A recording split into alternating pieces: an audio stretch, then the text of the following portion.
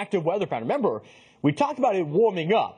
But there is that uh, implication of more active weather here, allowing that rain to fall over some snow. You look at Houston, five to eight inches of snow along with New Orleans. New Orleans, by the way, I mean, they get one thunderstorm. Below sea level, not good. Why is this all happening? It's that low uh, level jet and the subtropical jet that is fueling this again. So as it dips into the southern plains, it is allowing that instability to increase. And again, there's always humidity and warm air coming off of that Gulf. And so you're looking at temperatures where they're actually not going to only just be warm, but very like warm, I should say, in comparison to what we've previously felt, but warm for this time of year. And the warmer the air, the greater capacity to carry some of that rain and water content, but also the greater instability. And so now you're looking at not only rain, but thunderstorms flaring up for areas like Houston, New Orleans, out towards Atlanta. And so it's going to be I-10 I-20. Notice Lake Charles in that region, the Toledo Bend, Beaumont,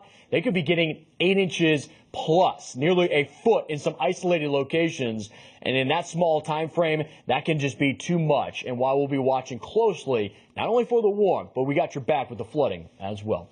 Up next, well, let's talk about the avalanche danger in the west. It's on the rise. So far this year, at least three people have been killed, and more snow is expected on the way, and that number could climb. So we're headed to the Grand Tetons when Fox.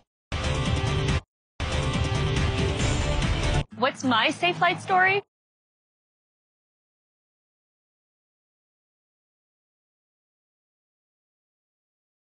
Today, Roku. TV starts here.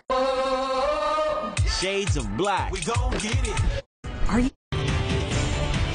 Roku Ads Manager is the. Per- A cleaning fee. Fan favorite series. Plus bold comedy. Shades of black. Watch now.